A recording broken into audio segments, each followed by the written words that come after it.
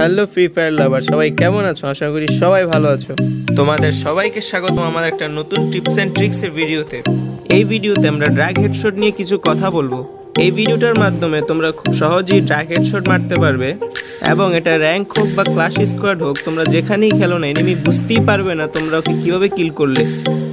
এছাড়াও আমাদের এমটা যে বডিতে লেগে থাকে, সেটা আমাদের হেডে কীভাবে সহজে উঠানো যায়, সে সম্পর্কে কিছু কথা বলব। এবং ড্র্যাগ হেডশট মারার জন্য তোমাদের কি কি সেটিং লাগবে, সেগুলো আমি বলে দিব। ভিডিওর মূল অংশে যাওয়ার আগে তুমি ভিডিওটাকে একটা লাইক করে দিও এবং চ্যানেলটাকে সাবস্ক্রাইব করে নিও।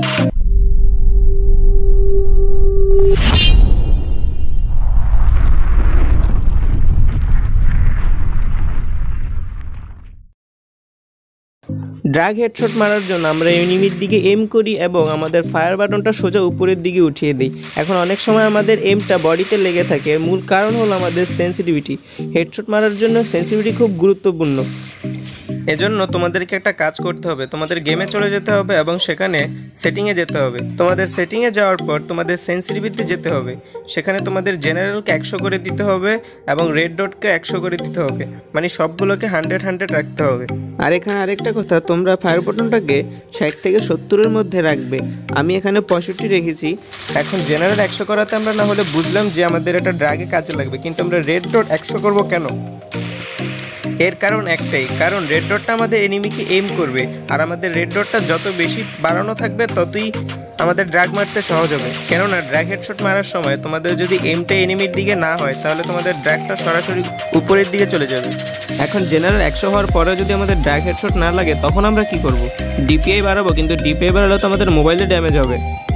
এই সমস্যা সমাধানের জন্য আমার চ্যানেলে অলরেডি একটা ভিডিও দেওয়া আছে, যেটা দেখে তোমরা ডিপিআই চেঞ্জ করতে পারবে, কিন্তু তোমাদের মোবাইলেরও কোনো ড্যামেজ হবে না।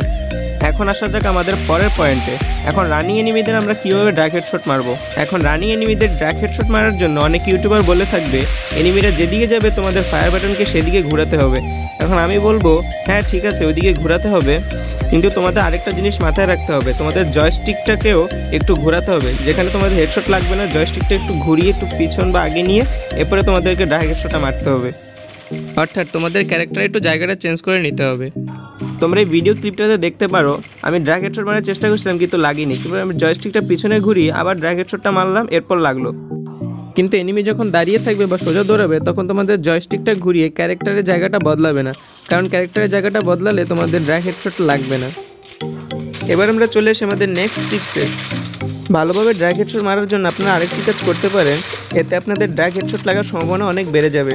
এনিমিকে ড্রাগ দেওয়ার পরে যখন হেডশট লাগছে না, তখন আপনারা কি করবেন? এনিমির দিকে এমটা করবেন এবং বসে যাবেন এবং ড্রাগটা করবেন। তখন দেখবেন আপনাদের হেডশটটা ইজিলি লেগে যাচ্ছে। বসে হেড মারলে আপনার এমটা অটোমেটিকলি উপরে উঠে যাবে এবং হেডশট লাগানোর সম্ভাবনা অনেক বেড়ে যাবে। এবং আপনার কম ড্রাগই হেডশট লেগে যাবে।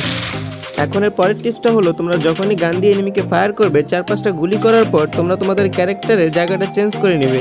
এতে কি হবে? তোমরা যখন তোমাদের ক্যারেক্টারের জায়গাটা চেঞ্জ করে ফায়ার করবে, তখন তোমাদের ড্র্যাগ হেডশটটা লাগার সম্ভাবনা অনেক বেড়ে যাবে। এখানে একটা কথা, প্রত্যেক ফ্রি ফায়ার প্লেয়ারই একই গান দিয়ে ড্র্যাগ হেডশট মারতে পারে না।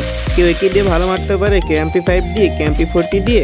কিন্তু অনেক সময় এটা আবার গানের স্ক্রিনের উপর নির্ভর করে। ডাবল রেট অফ ফায়ার যেটাতে থাকে, সেটা দিয়ে ভালো ড্র্যাগ লাগার সম্ভাবনা বেশি থাকে।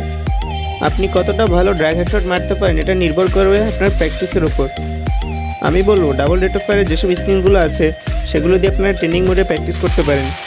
আশা করি ভিডিওটা ভালো লেগেছে। ভিডিওটাতে দেওয়া টিপসগুলো আপনার কাজে লাগলে ভিডিওটাতে অবশ্যই একটা লাইক করে দিবেন এবং চ্যানেলটা সাবস্ক্রাইব করে আমাদের সাথেই থাকুন।